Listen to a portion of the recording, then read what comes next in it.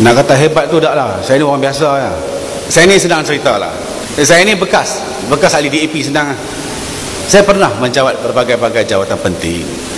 Apabila kami mengambil alih kerajaan pada 2008 5 Mac berlakulah satu gerakan secara halus nak keluarkan orang Melayu ni. Hampir 28 perkampungan orang Melayu hilang dah dalam masa 10 tahun mereka buat satu majlis makan malam untuk meraihkan kemenangan kami di Sarawak. Yang hadir pada malam tu semua Kristian. Semua Kristian. Saya merupakan satu-satunya wakil orang Islam. Saya tak tahu tuan apa yang jadi kat saya pada malam tu saya pun tak tahu lah sebelum ni you hina lah orang Melayu ni. Saya terima.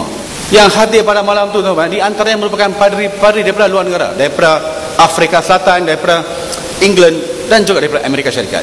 Di akhir majlis tu yang itu yang problem. Mereka buat satu bulatan 30 orang buat satu bulatan berdoa. We must make sure the Christian become an official religion Malaysia and we must make sure the next prime minister is a Christian. Saya pun nampak saya semacam awak dia ni pelik sangat di rumah ni. Saya tu saya mengaku saya dulu dengan isteri saya saya bohong. Saya mengaku. Kerana saya pernah mengambil sumpah cara orang Yahudi di luar negara. 21 syarat dia. Salah satu syarat utama dia dalam bahasa Inggeris dia kata don't trust anybody even though she is your wife. Lepas lima hari isu meletup. Dia tanya saya eh abang benda ni betul ke berlaku? Saya kata yes benda ni memang berlaku. Dia tanya lagi macam mana you tahu benda ni berlaku? Pada pagi itulah first time apa yang terbuku dalam hati ni saya luah kat dia. Saya nampak dia menangis lah. Duduk di hadapan saya. Kata-kata dia tu. Tak sangka 18 tahun ni aku hidup dengan seorang pengkhianat. Isteri saya kata saya. Isu meletup semua kata tak berlaku. Konspirasi.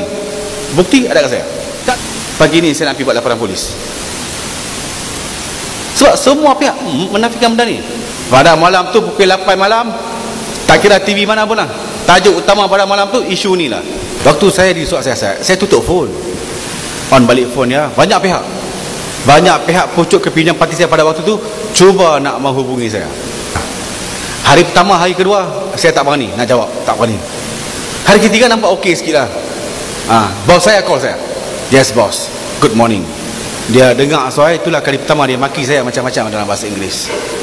Kenapa kamu pandai-pandai pergi buat laporan polis ni? Isu ni kita boleh selesai cara dalaman.